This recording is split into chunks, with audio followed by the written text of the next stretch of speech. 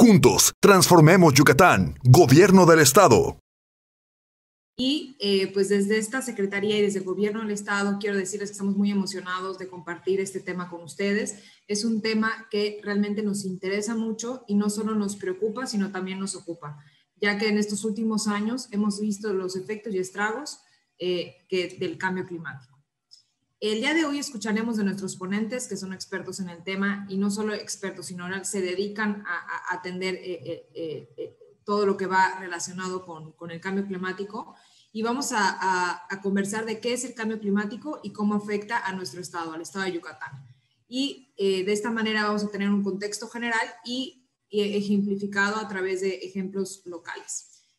Eh, vamos a estar abriendo la conversación, vamos a tener también recibir preguntas y al final las vamos a, contestar. Y eh, para nosotros es muy importante esto, ya que estamos en proceso de elaboración de la ley de cambio climático para el estado de Yucatán. Para, dar inicio, eh, le cedo la palabra a Andrés Ávila Ackenberg, al que además le agradezco el día de hoy estar conectado y eh, es un gran aliado ya que es el director ejecutivo de Polea AC, quien va a dar un mensaje de bienvenida. Gracias, Diana. Gracias, subsecretaria, por las palabras para la, permitirme estar también aquí en este webinar y hacer la, la posibilidad de tener eh, que organizar con ustedes, con la Secretaría de Desarrollo Sostenible, con Fridays for Future. Eh, creo que es un tema muy importante, como ya se mencionaba. Eh, vale la pena, creo que este tipo de eventos sucedan una y otra y otra vez, porque siempre hace falta reiterar la importancia de este, de este asunto del cambio climático, cómo afecta cómo afecta a nivel global, cómo afecta a nivel nacional y en este caso cómo afecta particularmente en el estado de Yucatán. Em, en ese sentido, pues digo, hay mucho, mucho que me gustaría mencionar, pero afortunadamente este, las, las eh, ponentes que, que, siguen lo harán de manera detallada, pero lo que hace falta siempre reiterar es que este asunto eh, dista mucho de ser resuelto, ¿no? por más que estamos hablando de muchos esfuerzos a nivel global, como decía, y a nivel país, a nivel subnacional, eh, las trayectorias, la suma de las trayectorias en las que nos encontramos a nivel planeta nos llevan a un aumento de la temperatura de 3 grados centígrados, ¿no? Y esto ya es demasiado. O sea, en realidad, como saben, el acuerdo vigente a nivel internacional que rige el accionar de los estados es el Acuerdo de París y ese solicita que los esfuerzos globales sean suficientes para no sobrepasar los 2 grados centígrados de temperatura e idealmente 1.5 grados centígrados. Es decir, ya se está asumiendo un aumento de la temperatura y eso traerá ya consecuencias, ¿no? Eso ya lo vamos, ya no lo podemos evitar. Lo que se busca es que estas consecuencias no sean mucho más graves y que no nos, nos lleven a un punto de no retorno, ¿no? Por eso se habla que es lo que estamos viendo actualmente con la pandemia en realidad es mínimo, en realidad con las consecuencias que traería el calentamiento global, el cambio climático. Ustedes saben que pues en estos esfuerzos globales México contribuye con su así llamada contribución nacional determinada con un 22%. Eh, reducción de emisiones al 2030 sobre una tendencia, no sobre un número absoluto, sobre una tendencia, es decir, que en vez de estar emitiendo con una curva muy ascendente, esta curva va a ser menos ascendente. Eh, este, este compromiso, esta contribución se reafirmó el año pasado, en el 2020, y bueno, pues ahí mucho de lo que se puede hacer a nivel subnacional, a nivel estatal, es sumamente importante porque pues la acción se lleva a cabo a ese nivel, ¿no? A nivel territorio, a nivel estado, a nivel municipio, y por eso me congratulo de este, de este eh, webinar que, que, hoy sucederá. Em, también este es un problema que pues no es nuevo, ¿no? O sea, nosotros creemos que es de este siglo, pero en realidad empieza con la revolución industrial, nos podemos ir tan, tan atrás como eso, cuando se empezaron a usar los combustibles fósiles, y por eso también se habla de una responsabilidad histórica de aquellos países que primero empezaron a usar los combustibles fósiles y eso se ve reflejado en los acuerdos internacionales con las responsabilidades comunes pero diferenciadas, pero la responsabilidad actual, la responsabilidad actual es de todos, porque todos emitimos y la tonelada de gas de efecto invernadero que se emite en Haití o en Chihuahua o digo, por decir un estado, un país, es lo mismo que lo que puede emitir Japón, ¿no? O sea, todas se van a acumular en la atmósfera y todas van a contribuir a este calentamiento global.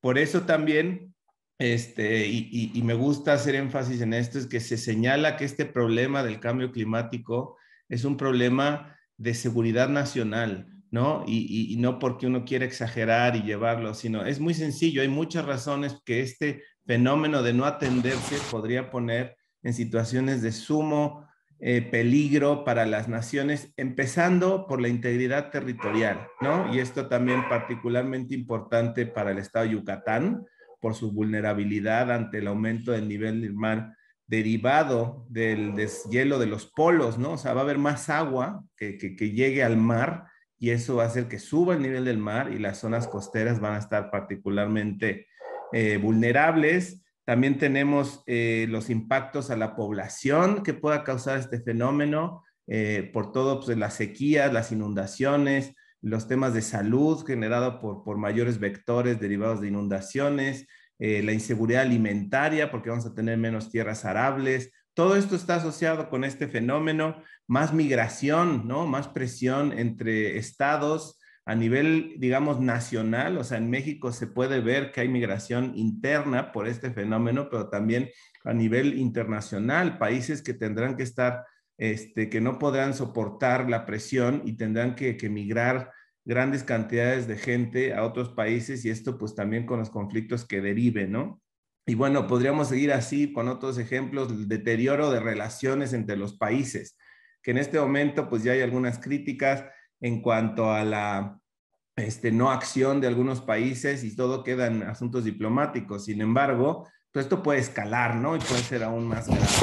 Eh, en ese sentido, pues también los más vulnerables somos países en desarrollo, por dos razones, nuestra situación geográfica que nos hace que resintamos más estos fenómenos, pero también por nuestra menor capacidad para hacerle frente a los efectos adversos del cambio climático, ¿no? nuestra menor capacidad económica muchas veces para revertir este asunto. Es un tema global, como decía, es un tema de mediano y largo plazo. Las decisiones que se tomen actualmente no necesariamente las se van a ver reflejadas en el corto plazo. Eso es bien importante, ¿no? Que muchas veces en la cuestión política se toman decisiones pensando en algo inmediato, pero lo que se tome ahora como decisión es pensar hacia, hacia el futuro, hacia las generaciones futuras, hacia el 2030, 2040, 2050. Pero muchas veces el que toma la decisión el día de hoy no va a estar en ese momento, por eso no le ve ese atractivo político. Hay que romper eso, hay que dejar muy claro, y estoy seguro que las colegas van a tocar esto con más detalle este, y va muy de la mano con nuestros patrones de vivir, ¿no? Nuestra forma de vivir este problema. Tenemos que cambiar nuestras formas de producir, nuestras formas de consumir, que todos ahí tenemos cierto grado de culpa, ¿no? Entre más, por eso digo que se puedan difundir este tipo de, eventos, este, que, se repitan hasta el cansancio, que todo mundo nos enteremos de la gravedad de este asunto, pues mejor, ¿no? Eh, otro dato interesante ya para cerrar y que, y que este, presenten con más detalle los costos, ¿no? Muchas veces dicen, no, es que este cuesta mucho hacer esta transición energética, cuesta mucho hacer este cambio de, modal de transporte o, llevarnos hacia los movilidad sustentable, todas estas acciones que implica el, revertir, el hacer frente al problema, pues ya hay números, ¿no? El Instituto Nacional de Ecología y Cambio Climático puso, este, hizo un estudio donde nos dice que el costo de la inacción, o sea, el no hacer nada, para el 2030, que es el año referencia para cumplir con el Acuerdo de París, es de 143.421 millones de dólares en México, si no hacemos nada. O sea, ¿cuánto nos va a costar los impactos del cambio climático? Es más bien este número.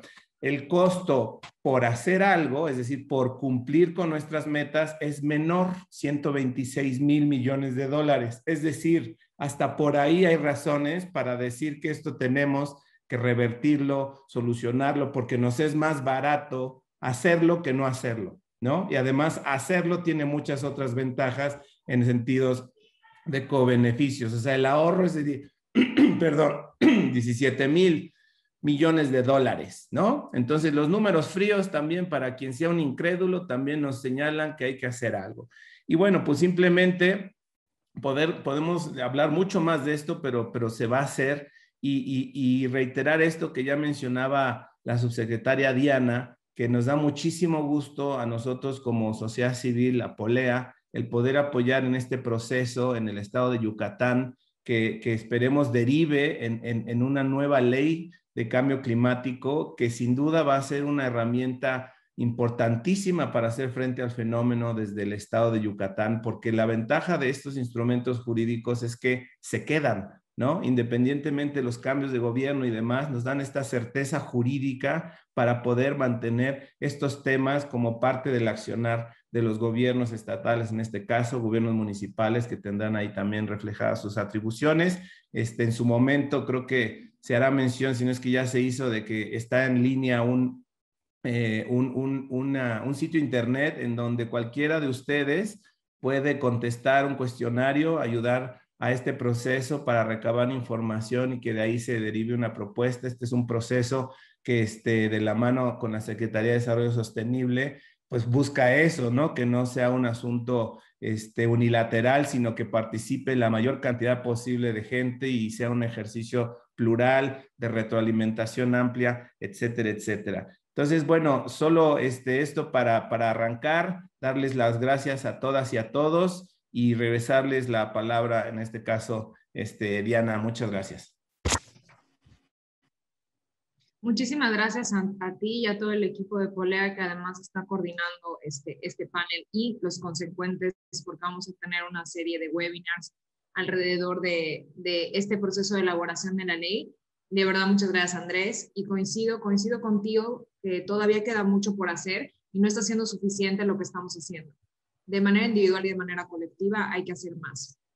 Es por eso que esperamos que a través de esta conversación eh, más personas se sensibilicen y comencemos a actuar de manera conjunta hacia el logro de, las metas ambiciosas que ya comentaste. Pues de eso depende nuestras vidas. Les pido que además compartan la información que se está que se va a plantear el día de hoy y el webinar se va a, estar, va a estar grabado y también lo pueden ver de manera posterior y lo pueden compartir. Eh, aprovecho también un breve recordatorio de lo que comentó Andrés, que todos pueden sumarse a este proceso de elaboración de la ley a través de la página leyccyucatán.com. Ahorita lo escribimos también en el chat y en los comentarios de live para que lo puedan consultar, por favor. Participen, eh, lo que ustedes puedan aportar es muy importante para ese proceso de participación. Ahora escucharemos a voz de Alejandrina Bazán Godoy, quien es jefa de Cultura para la Sustentabilidad de la Secretaría de Desarrollo Sustentable, la ponencia ¿Qué es el cambio climático y cómo afecta al estado de Yucatán? Adelante, Ale, muchas gracias. Gracias, subsecretaria. Pues voy a empezar a compartir mi pantalla. A ver si la ven, ya la ven. ¿Ya se ve? Muy bien. Pues bueno, pues muy buenos días a todos. Eh, pues muchas gracias a la subsecretaria Diana, Andrés. Este, y pues a mí me toca hablarles un poquito, platicarles un poquito de qué es el cambio climático, conceptos un poco básicos del cambio climático para que lo entendamos este, desde la raíz, desde cómo empezó y pues obviamente con ejemplos locales de cómo afecta y cómo está afectando al estado de Yucatán. Para comenzar, pues qué es el cambio climático, ¿no? Eh, lo oímos en todas partes, en, todas partes del mundo, lo oímos en Yucatán, en México, a nivel mundial, pero a veces nos quedamos pensando, ok, se menciona muchísimo, pero ¿qué es el cambio climático, no? El cambio climático es algo que ha pasado hace millones de años desde que existe este, pues el planeta pero han habido diferentes cambios climáticos, ¿no? Eh, el, cambio climático es la variación del clima en el planeta Tierra. Es tan sencillo como eso. Puede ser por factores naturales o por factores eh, humanos, ¿no? Y es algo que altera la composición de la atmósfera. Tiene que durar, eh, pues normalmente para considerarse un cambio climático en el planeta, tiene que durar pues varios, varias décadas o varios años o varios periodos de tiempo.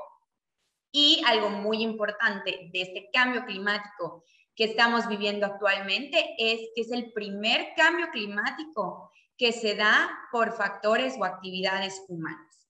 Como les comentaba, han habido diferentes cambios climáticos eh, y variaciones en el clima en el planeta Tierra a lo largo de todos los años de, que existe pues, el universo. han habido cambios eh, en el clima eh, que, pues bueno, estén por factores naturales, este, así como ahorita está la temperatura a la alza, han habido temperaturas a la baja. De hecho, el último cambio climático natural que se registró fue aproximadamente hace 15.000 años. Por eso les comento que este es el primer cambio climático que se registra por actividades humanas. Y esto es porque pasa un fenómeno también muy natural en el planeta Tierra que se llama efecto invernadero. Este fenómeno es ocasionado por los gases de efecto invernadero y es un fenómeno que de manera natural hace que exista la vida en la Tierra porque regula la temperatura de la Tierra. Si no existiera el efecto invernadero, eh, a lo mejor no podría haber vida en el planeta porque regula esta temperatura. Sin embargo, en los últimos años, bueno, no en los últimos años, como comentó Andrés, desde la revolución industrial, pues con todos los procesos industriales, este, avances tecnológicos, eh, transporte, consumo, pues hay una mayor quema de combustibles fósiles. Y esto hace que el efecto invernadero, que cuando se da el efecto invernadero, se genere una capa como una manta eh, alrededor del planeta y hace que este efecto invernadero no se dé de manera normal, como siempre ha ocurrido en el planeta, ¿no?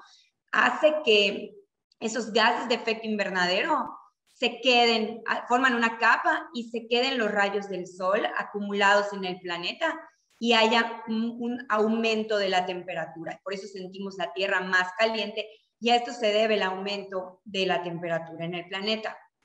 Estos gases son, pueden ser el dióxido de carbono, el ozono, el metano y hasta el mismo vapor del agua.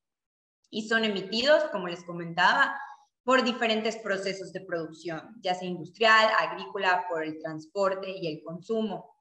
Y esto hace que haya un calentamiento global.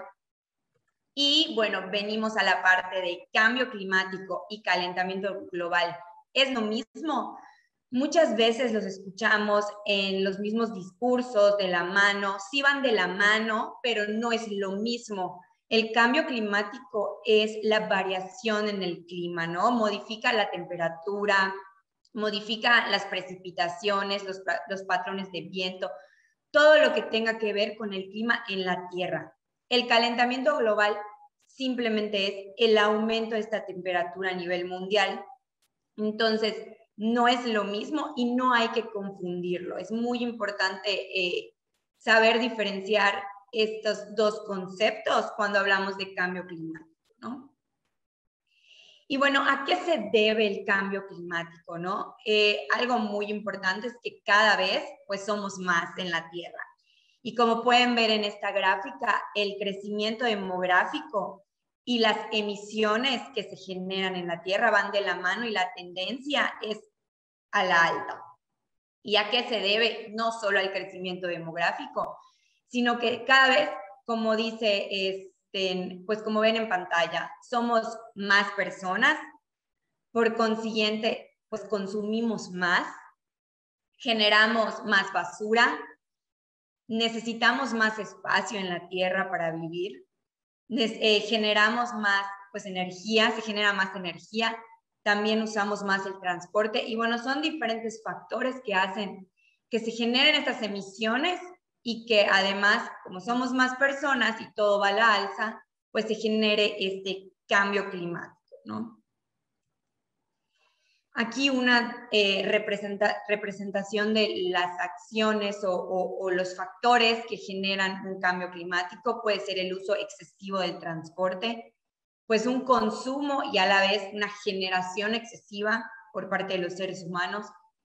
El desperdicio de energía no está mal consumir energía, generar energía, que haya un desarrollo en el planeta, pero este desperdicio o este consumo excesivo es el problema, ¿no? La deforestación, pues los procesos industriales, la tecnología eh, y obviamente pues un crecimiento acelerado de la, de la población a nivel mundial. Aquí podemos ver repercusiones debido a este aumento de la temperatura, ¿no? Las repercusiones sí son ambientales, pero también afectan eh, a la sociedad, ¿no? A la ciudadanía.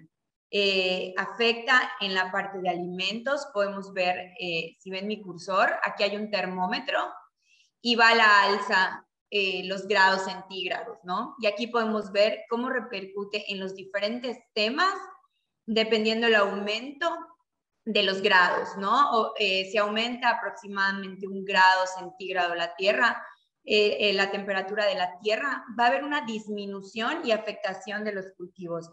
Pero si llega a aumentar más la temperatura, ya va a haber una pérdida de esos cultivos. También afecta en, en el tema de agua. como comentó Andrés, están desapareciendo los glaciales y hay un aumento en el nivel del mar y las zonas costeras son más vulnerables.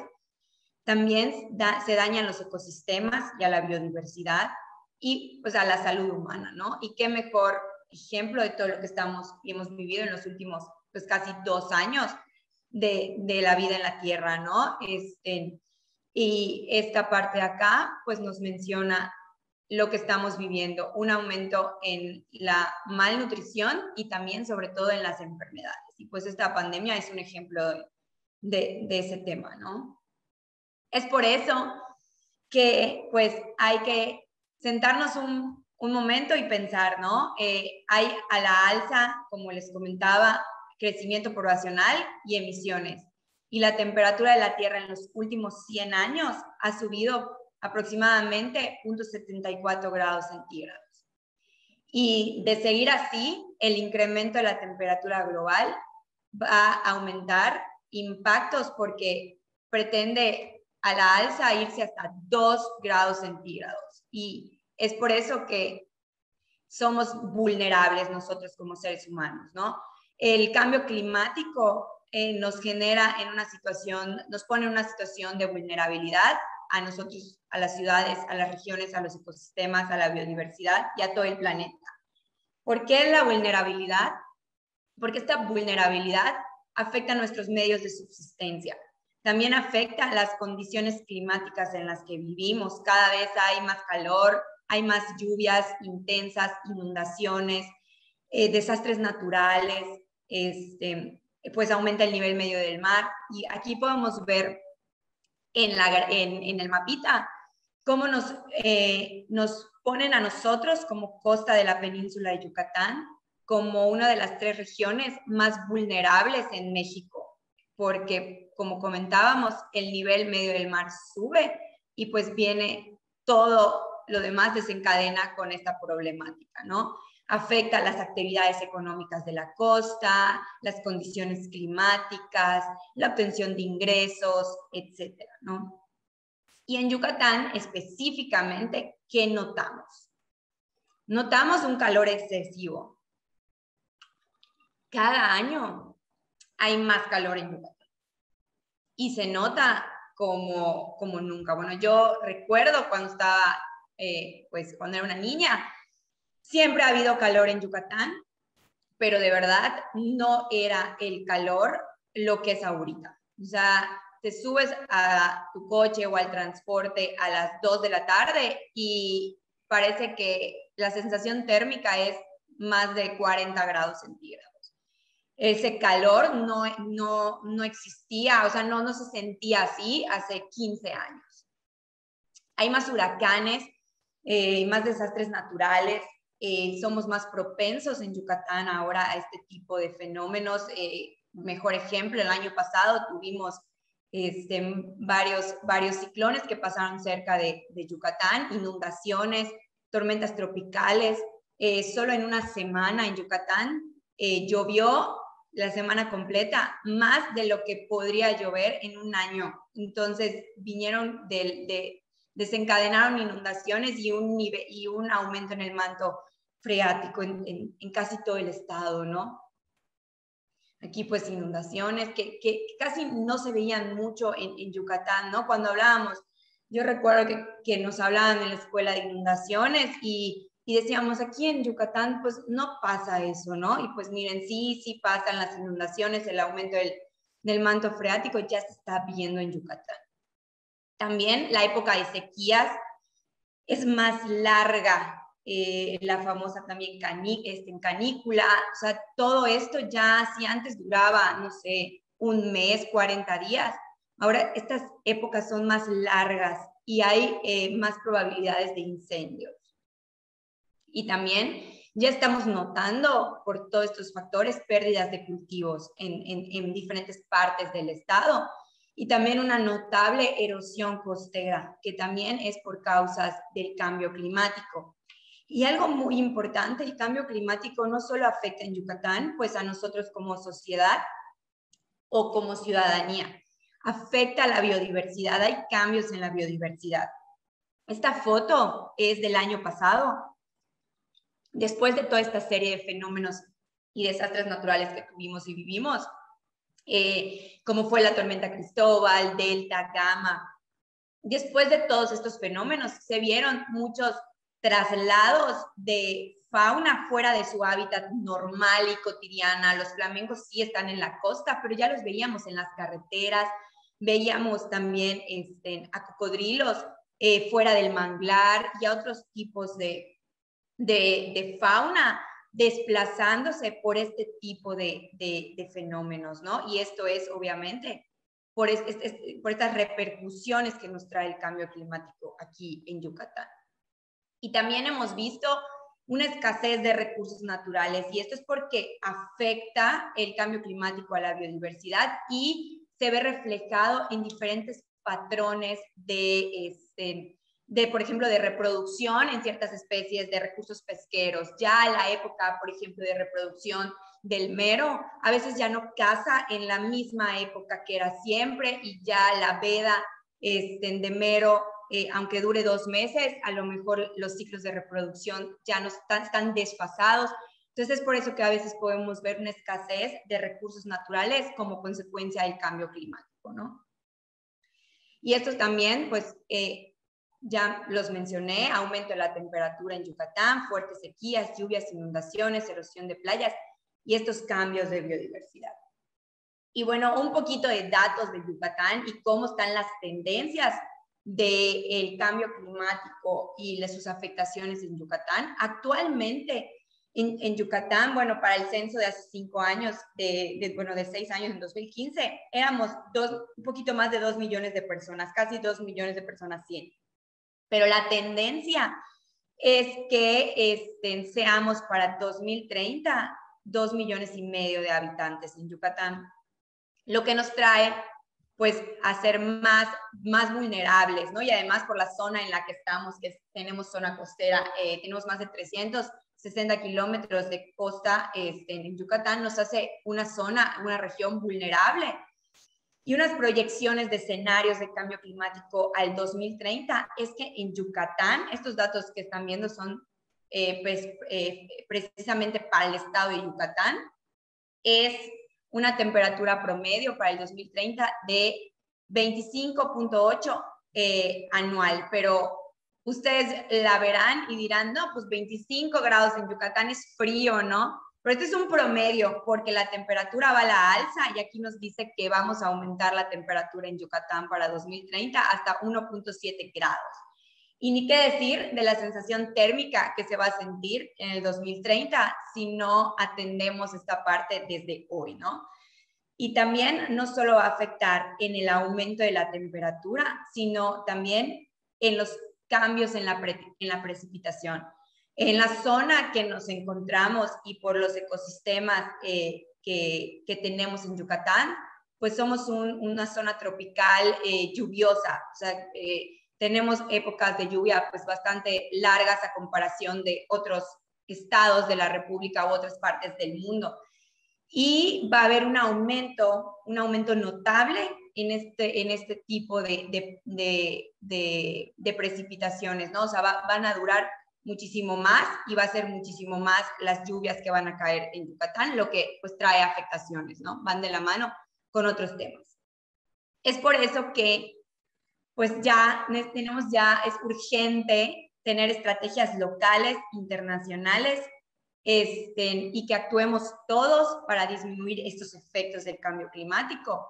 Como comentaba Andrés, como comentaba Diana, eh, sumando todo lo que hacemos a nivel mundial, imagínense la afectación que trae para el planeta.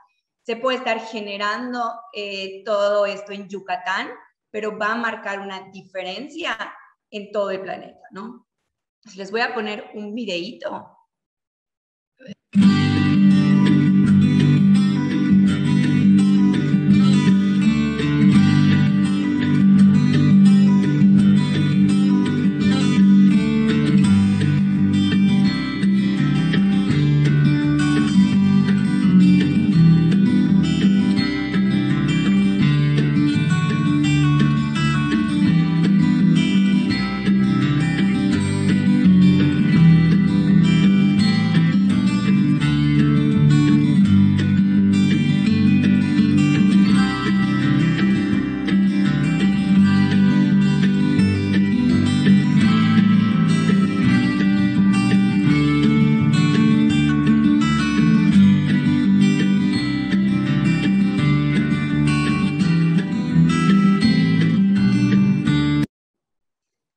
en el video, eh, nosotros nos encontramos, nuestro estado se, se encuentra, pues tenemos costa y somos parte también del arrecife mesoamericano, ¿no? Parte de, de, todo este, de toda esta cuestión.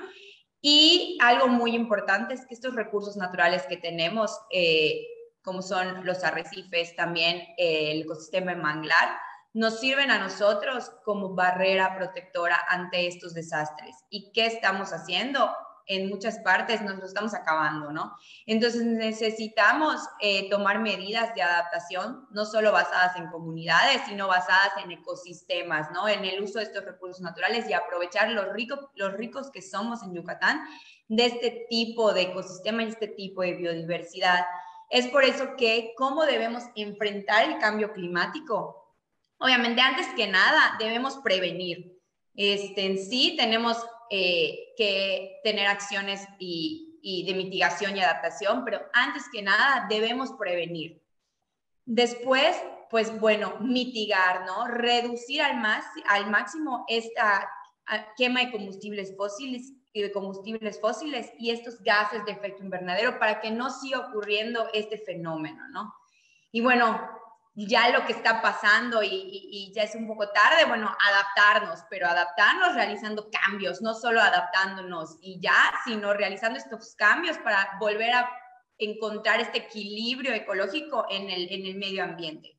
Porque si no, va a ser más, va a ser muy tarde y no sé si se han puesto a pensar cuál es nuestra capacidad de resiliencia, no solo como seres humanos, sino como región, como estado, como ecosistemas, ¿no? Una, una capacidad de resiliencia es la capacidad para resistir, para adaptarse y para recuperarse ante estas consecuencias climáticas. Y no queremos llegar a eso, no queremos que sea demasiado tarde. Debemos por eso prevenir, mitigar y pues después adaptarnos. No queremos tener eh, y ver nuestra capacidad de resiliencia, no queremos llegar hasta ahí. Les voy a poner un último videíto para pasar a otro tema.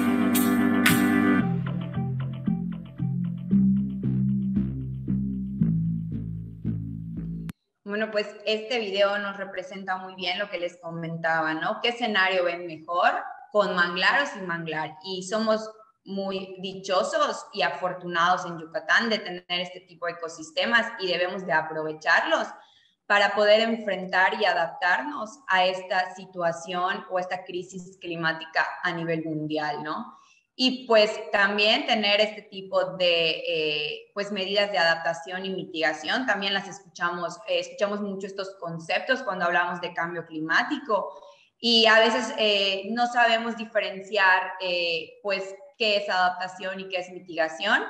En la diapositiva anterior, en, esta de las, de las ranitas que, que me gusta mucho porque lo representa muy bien, para no confundirlas. ¿Qué es mitigar? Mitigar es este, este, este, tema, ¿no? Está sucediendo algo, pero bueno, vamos a reducir para, para, que no, para que no suceda, ¿no? ¿Y qué es adaptar?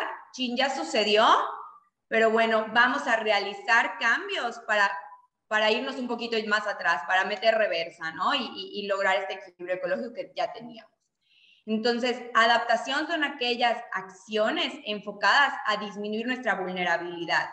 Eh, no solo nuestra vulnerabilidad como, como seres humanos, como sociedad, sino al de los ecosistemas y de la biodiversidad ante el cambio climático. Y mitigación, pues son aquellas acciones que están encaminadas a reducir nada más las emisiones de efecto invernadero, ¿no? Que pues son las causas principales del cambio climático. ¿Y qué son algunos ejemplos de medidas de adaptación? Eh, pues puede ser adaptación basada en ecosistemas, es el uso de ecosistemas, como les comentaba, de recursos naturales para afrontar esta crisis climática, ¿no? Puede ser pues una estrategia de reforestación de mangle, etcétera, ¿no? Hay medidas también de adaptación basadas en comunidades y esto es eh, pues llevar a cabo procesos participativos eh, y combinar esta parte de la comunidad con a lo mejor desarrollos tecnológicos para poder enfrentar estos cambios, ¿no? Y, adaptarnos. Y también la adaptación basada en reducción de riesgos o desastres, que ahí podemos meter un poquito a lo mejor de investigación y, y aplicar estas medidas para la reducción de riesgos a desastres naturales. ¿Y a qué diferencia hay en mitigación? Pues unas acciones de mitigación eh, son más que nada, pues lo que podemos hacer nosotros también desde casa, ¿no? Fomentar el transporte este, en público o el transporte sostenible, andar en bici, compartir coche, disminuir el uso de combustibles fósiles, eh, pues reducir nuestro consumo para, para que se vea reflejado en la disminución de nuestros residuos, este, eficiencia energética, mejorar en energías renovables, un ejemplo de medidas de adaptación que hemos trabajado aquí en Yucatán eh, con un programa que tenemos de escuelas sustentables es que debido a las fuertes lluvias del, del año pasado, ocasionadas, pues sí, por el cambio climático, eh, en una escuela con la que estábamos trabajando en el municipio de Joctum se vio afectada por severas inundaciones y eh, desarrollaron los alumnos un plan de emergencia denominado Plan de Emergencia JOCTUM, ¿no? Y era para reducir los riesgos de desastres naturales y combate al cambio climático. Desarrollaron este plan de emergencia y lo compartieron con toda su comunidad para informar y compartirles este, acciones y medidas a seguir por desastres naturales y para combatir el cambio climático, ¿no? desarrollaron su proyecto, desarrollaron el manual, desarrollaron este plan. Y aquí pueden ver un ejemplo de cómo les afectó a ellos eh, las pasadas tormentas eh, tropicales del año pasado.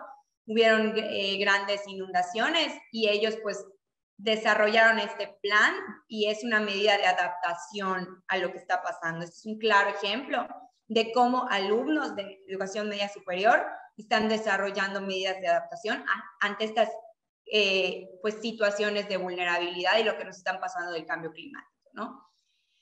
Y pues bueno, eh, un poquito para cerrar el tema de cambio climático y qué es lo que estamos haciendo y cómo podemos nosotros poner nuestro granito de arena.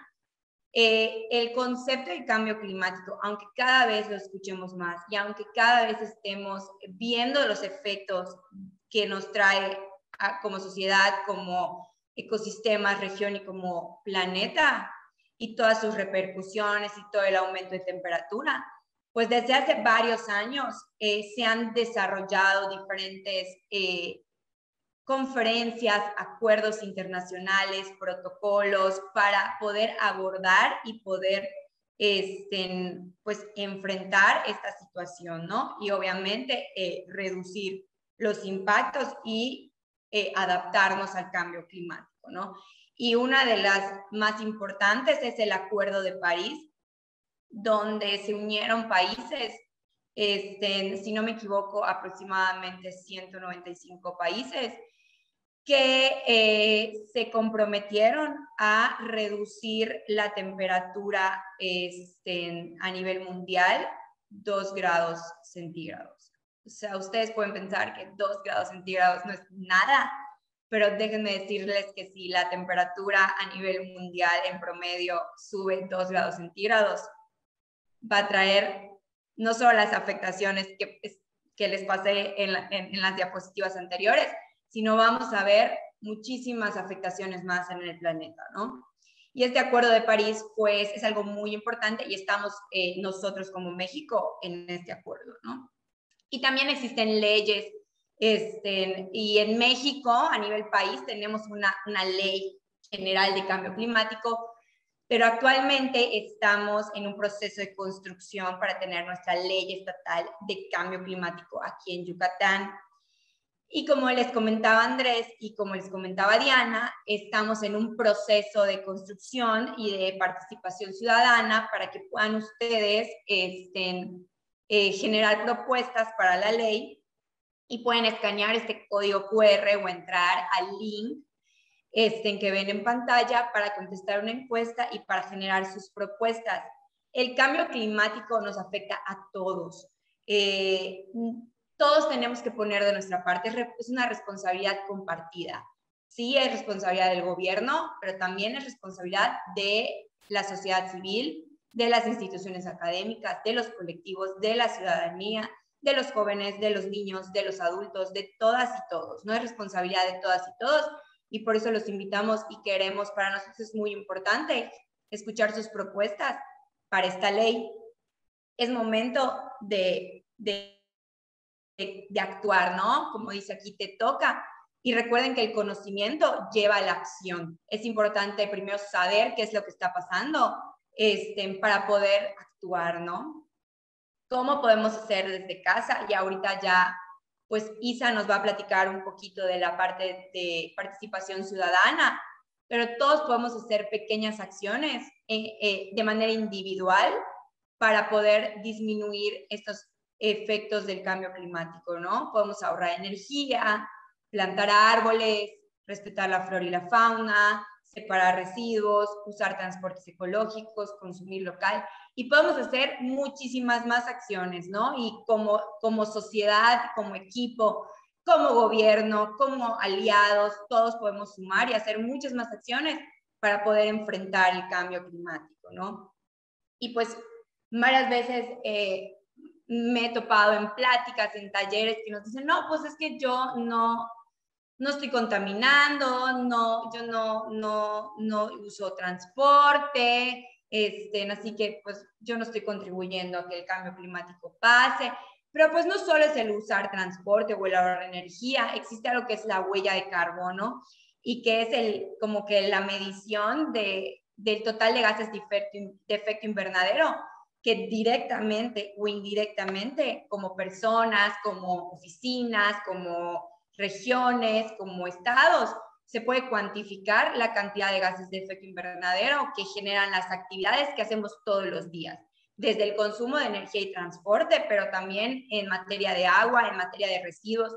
Los invito de verdad a que, a que consulten y a que midan su huella de carbono, porque ahora se van a asustar de lo que, de lo que pueden encontrar, este, que indirectamente pues influye en, en, esta situación que estamos viviendo, ¿no?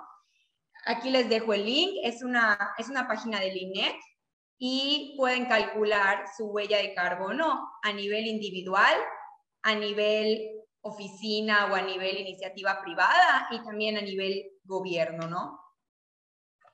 Y pues me gustaría cerrar con esta frase, somos la primera generación en sentir el impacto del cambio climático, el, del cambio climático, pero también somos la última que pueda hacer algo al respecto. Les dejamos nuestros datos de la Secretaría de Desarrollo Sustentable. Este, encuéntrenos en redes sociales, escríbanos hasta el correo. Eh, las puertas de la Secretaría están abiertas estamos en un proceso de construcción de la ley, pueden acercarse a nosotros, pueden acercarse a la asociación Polea, también les dejo sus redes sociales este, para que los encuentren y pues recuerden el proceso, de, el proceso participativo que estamos viviendo ahorita para la construcción de la, de la ley. Su participación es muy importante. Los invito a escanear el código QR y que por favor contesten la encuesta para que sea un, una ley de todos, ¿no? Lo que buscamos es que nos involucre a todas y a todos esta ley porque el cambio climático no, no, no, no, no discrimina, es una, una afectación para todas y para todos. Entonces nos gustaría que esta ley sea construida por todas por todos los yucatecos. Así que escaneen el código y pues les cedo la palabra a Isa, que nos va a hablar un poquito más de la participación ciudadana y qué podemos hacer como sociedad para eh, combatir pues, estos efectos del cambio climático. Muchas gracias. Wow, qué increíble ponencia, Alejandrina. Muchas felicidades y felicidades sobre todo a quienes están conectados a esta llamada, porque definitivamente es un claro ejemplo de que les preocupa el, tema y que de la mano vamos a poder trabajar con ustedes y que participen. Eh, sé que puede causar un poco de conflicto en primera instancia escuchar tanta información o decir, bueno, entonces, ¿qué hacemos? Y yo quiero comenzar con mencionarles que la solución lo tenemos enfrente de nosotros, lo tenemos eh, de la madre naturaleza, porque eh, la naturaleza es una herramienta que podemos usar para parar, para reparar el clima. Entonces, yo creo que tú te pongas a pensar en si realmente cuando hay arboladas o cuando hay reforestaciones o actividades, por ejemplo, que el gobierno está organizando, instituciones, organizaciones, participas. Entonces, hoy estamos en ese momento crucial de unirnos. Escucha muy bien esto, fallar y no poner parte de nuestro granito de arena en este tema eh, y no ayudar a la naturaleza será el punto de no retorno. Y hoy más que nunca, escucha muy bien, debemos de estar unidos en sintonía de este tema, ¿de acuerdo? Informarnos, educarnos, trabajar de la mano, y todo esto hacerlo masivamente. Muchas, muchas felicidades Alejandrina por la ponencia. Felicidades a todos los que se encuentran también conectados hoy en la mañana y escuchar toda esta información porque eso deja mucho de qué hablar y sobre todo por la participación que, que vamos a, a tener muy pronto con ustedes, que ya está viendo. Yo quiero comenzar con esto que yo sé que puede ser un poco conflictivo, inclusive hasta un poco de ruido personalmente si escuchas mucha información al respecto de este tema, pero estamos en el momento justo. Yo creo que tú te quedes con esto. Hoy más que nunca tenemos que estar unidos, tenemos que trabajar de la mano, estar en sintonía de este tema, educándonos y trabajarlo masivamente, estar em, en esto todos juntos. ¿Y a qué me refiero con esto? A que ya están instituciones que estamos observando que están trabajando en el tema, ya hay instituciones que, que están tocando la manera de poder llevar a cabo eh, leyes para que esto realmente sea un hecho, súmate, ¿de acuerdo? Yo hablo de esta parte del, del interés, ¿de acuerdo? Porque por añadidura del interés de, de tú que estés escuchando esto, de tu interés, de tu preocupación, Luego viene la acción y estamos hablando de acción climática. Entonces, esto solo lo lograremos estando juntos todos. Entonces, yo te invito a que participes en conjunto de todos nosotros, de que estés pendiente de lo que vamos a, a trabajar, de lo que ya están compartiendo, de lo que ya se está haciendo y tomemos acción, ¿de acuerdo? Que te sumes. Hoy es el futuro y nosotros somos ese futuro en el presente. Entonces, no te pongas a pensar más allá de, oye, a mí esto no me va a tocar, eh, oye, faltan 30 años, oye, esto faltan 10, 100 años para nada. Ya lo estamos viviendo. Muchos ejemplos ha compartido Alejandrina y demasiada, sobre todo muy puntual información. Así que yo te invito a que en serio formes de la parte de nosotros, sumes, te sumes, invites, y compartas, ¿de acuerdo? Yo quiero terminar esta parte también con mi participación de que te quedes con que todo lo que uno hace cuenta, ¿de acuerdo? Por muy pequeño que sea. Alejandrina compartió también el hecho de estar trabajando eh, desde casa, ¿de acuerdo? Informarnos, es muy importante educarnos, leer muy bien cómo puedes contribuir. Eh, y felicidades, en serio, de nuevo, por estar unida y unido a este webinar.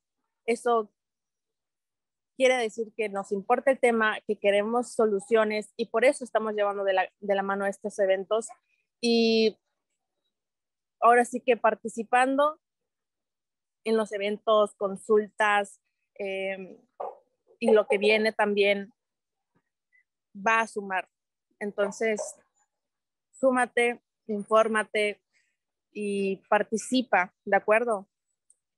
Muchas gracias Alejandrina también por la por la invitación. Eh, estamos realmente muy emocionados y en serio muy eh, agradecidos por, por, toda la, por todo lo que ya están llevando a cabo, que es muy importante y sobre todo en el estado de Yucatán, que en serio aún, aún, aún hay tiempo de tener resultados favorables para el planeta. Con nuestro granito de arena, créanme que las cosas pueden cambiar. Y bueno, deseo la palabra Alejandrina. Muchas gracias por la invitación. Mi nombre es Isabel, soy de Fridays for Future, Juventud por el Clima Mérida. También nos pueden seguir en redes sociales. Nosotros constantemente tenemos actividades, eh, talleres de educación y pronto viene un evento muy, muy importante de septiembre, así que los invito a sumarse, a sumarse a los eventos que ya se están llevando a cabo, como este fabuloso webinar y lo que viene. Así que muchas gracias.